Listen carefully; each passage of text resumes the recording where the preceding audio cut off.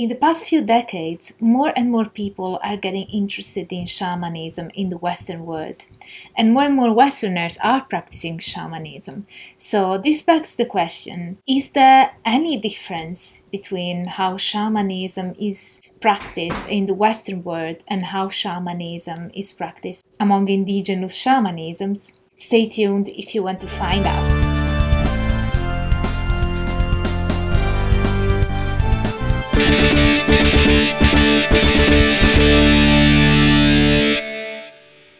So first of all, let's address terminology.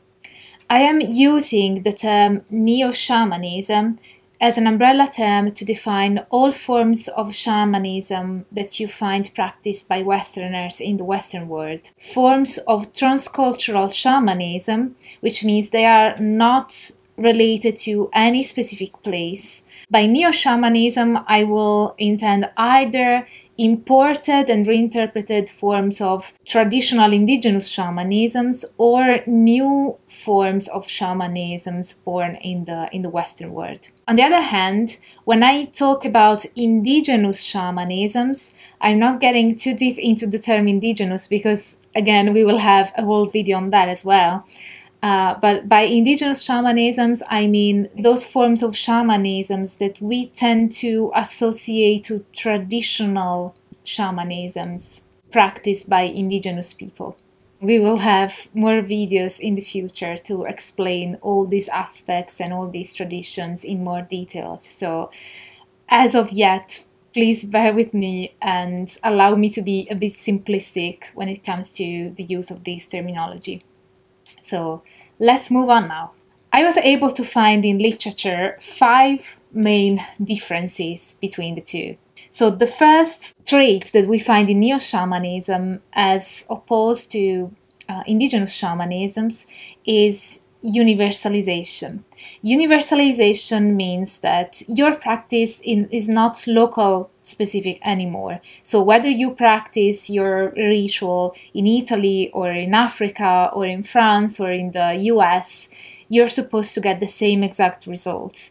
It doesn't matter really whether you are practicing your ritual in one specific country, and also it doesn't really matter whether there's a specific cultural context, which is the reason why um, this trait of universalization or universalizing is sometimes also called decontextualizing, because not only does this mean that you can practice the ritual everywhere in the world, but also practice is not local specific, not context specific, and not even cultural specific. So you don't have to belong to a certain culture or to a certain place or to practice it according to um, the traditions of one specific place in order for your practice and for your ritual to be effective.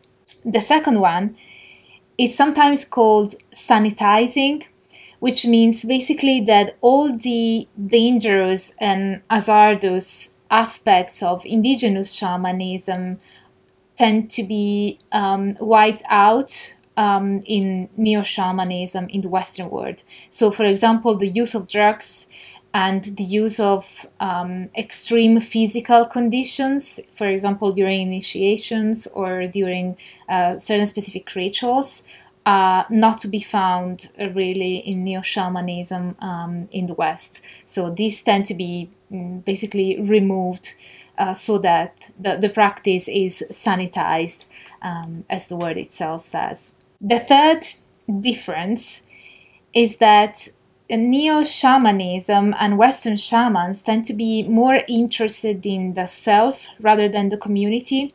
So this means, for example, that uh, a Western shaman might perform a ritual um, or might engage with shamanism to find inner peace or uh, his or her higher self. And even though they often help other people, it is more based on the on the individual. So whether it be the shaman himself or herself, or the individual you are trying to help. So it is a more on a one-to-one basis rather than being in charge of the welfare and the health of a community.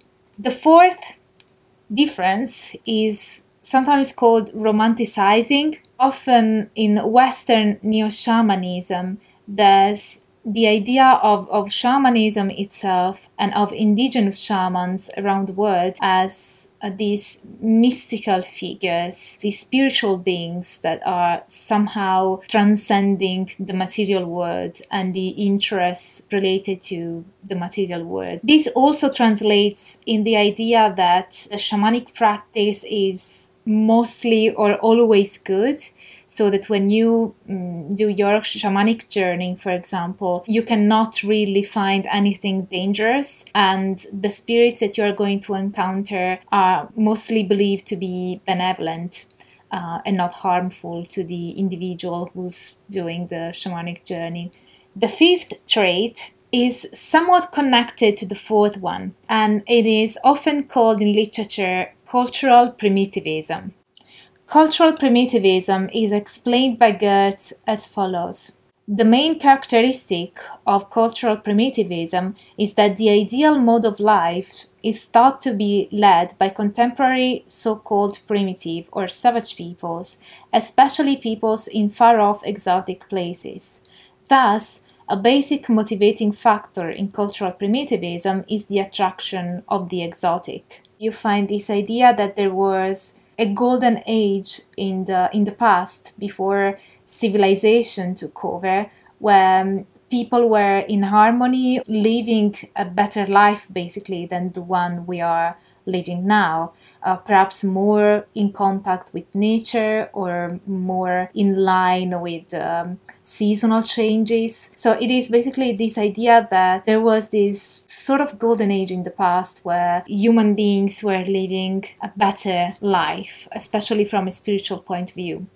There's a tendency in the among Western practitioners to see indigenous shamanisms and indigenous peoples around the world somehow living in that golden age where things were better and more in harmony with nature and spirituality was more core to the day-to-day life of people. And by doing that it is somehow locating these indigenous traditions in a place outside of time or at least outside of our contemporary civilized time and age so that they are still living living in that golden era where humankind had not been disconnected by nature and their spirituality yet. So, this is somehow a way of seeing civilization as we know it today as something that is deteriorating our spiritual lives, as well as seeing people who live by a different social structure as outside of this negative outlook on life brought about our contemporary social structure. A very interesting article, which I tend to cite a lot, is Johnson's article Shamanism from Ecuador to Chicago Johnson talks about all these differences that you find between neo shamanism, especially in his article, he mentions core shamanism and the indigenous shamanism of the Shuars from the Ecuadorian region. So that's why uh, the article is called Shamanism from Ecuador to Chicago.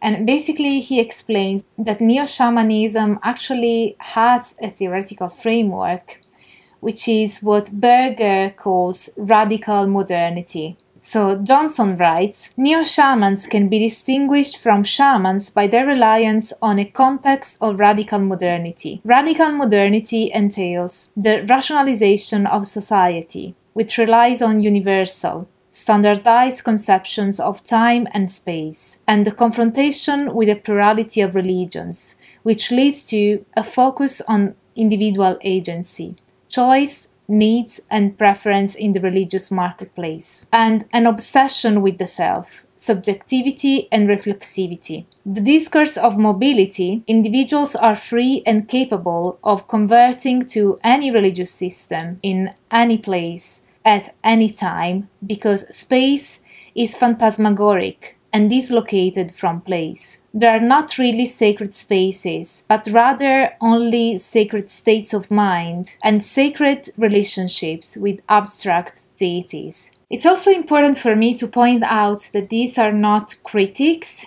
to Western shamans or Western neo shamanism, but actually, these are just differences that have been pointed out by quite a few scholars in the literature regarding um, neo shamanism or transcultural shamanism or the shamanism that has been increasingly practiced in the Western world and how this manifests. And since before the advent of shamanism in the Western world, the main references that scholars had were those belonging to indigenous people, so Siberian shamanism, Andean shamanism, Amazonian shamanism and so on and so forth. Of course, when Western shamanism came to be and became more and more practiced, normally we tend to understand things by comparisons. And so the first comparison, of course, was the comparison between Western shamanism and the indigenous forms that had been already studied by ethnographers and anthropologists. Whereas in more recent years, you will find more and more studies on different forms of neo shamanism per se without having to rely on this comparison. So I hope you liked this video. If you have any questions, leave them down below in the comment section and I will be happy to reply to them all.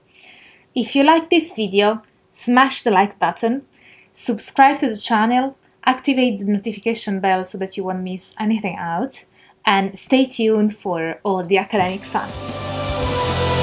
Bye for now.